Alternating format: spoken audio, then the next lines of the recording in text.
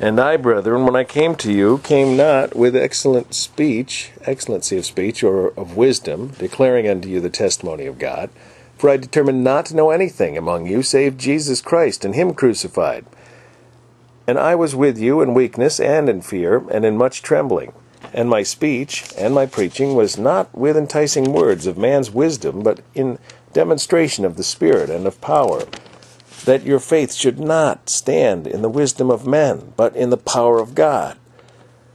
Howbeit we speak wisdom among them that are perfect, yet not the wisdom of this world, nor of the princes of this world that come to naught, but we speak the wisdom of God in a mystery, even the hidden wisdom which God ordained before the world unto our glory, which none of the princes of this world knew, for had they known it, they would not have crucified the Lord of glory.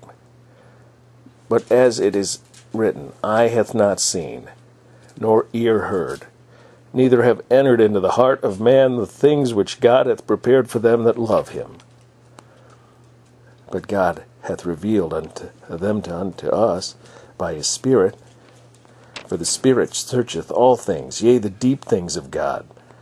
For what man knoweth, the Spirit of man, save the spirit of man which is in him.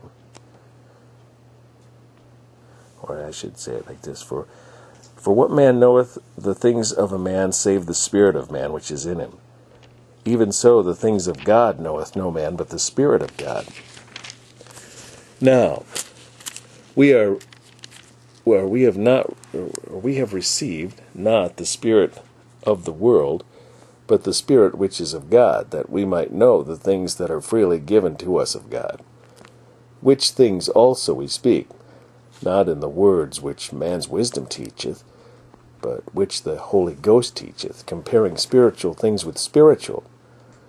But the natural man receiveth not the things of the Spirit of God, for they are foolishness unto him, neither can he know them, because they are spiritually discerned.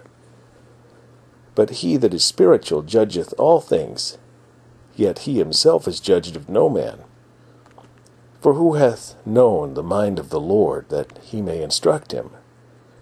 But we have the mind of Christ.